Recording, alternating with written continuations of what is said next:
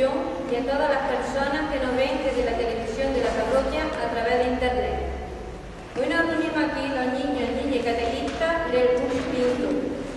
Los niños y niñas nos cantarán villancicos, campana sobre campana y así transmitiros una feliz Navidad y próspero 2009 y que el espíritu navideño os transmita que en el año que vamos a entrar entre con mucha felicidad.